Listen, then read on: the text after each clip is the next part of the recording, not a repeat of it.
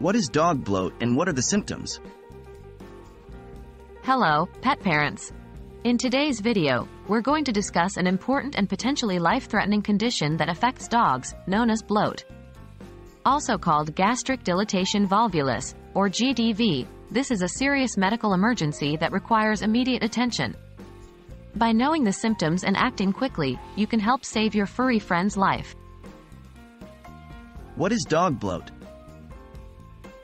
Dog bloat, or gastric dilatation volvulus, GDV, is a medical condition where a dog's stomach becomes distended and sometimes rotates or twists. The distension is due to an accumulation of gas or fluid, and if rotation occurs, it can prevent this gas or fluid from escaping. The twisted stomach can cut off blood flow to other parts of the dog's body, leading to other serious complications such as shock or organ damage. It's a life-threatening emergency that requires immediate veterinary attention. What causes bloat in dogs? The exact cause of bloat is not well understood.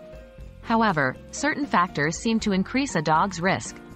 Large breed dogs with deep chests like Great Danes, St. Bernards, and Weimaraners are more susceptible. Eating large meals quickly, having one large meal a day, and vigorous exercise after eating can also contribute.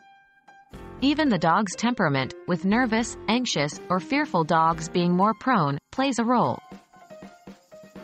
What are the symptoms of bloat in dogs? Recognizing the symptoms of bloat is crucial. Symptoms can include excessive drooling, restlessness and pacing, swollen or enlarged abdomen, attempts to vomit or defecate but nothing comes out, signs of discomfort or pain such as whining or groaning, rapid, shallow breathing, pale gums remember, bloat can progress quickly, and every minute counts. How is bloat treated in dogs? Bloat is a medical emergency. If you suspect your dog has bloat, get them to the vet immediately. Treatment usually involves stabilization, deflation of the stomach, and surgery to correct any twisting and prevent future incidents. This condition can be fatal if left untreated, but with immediate veterinary attention, many dogs can survive. Understanding dog bloat, its causes, and symptoms is essential for all dog owners.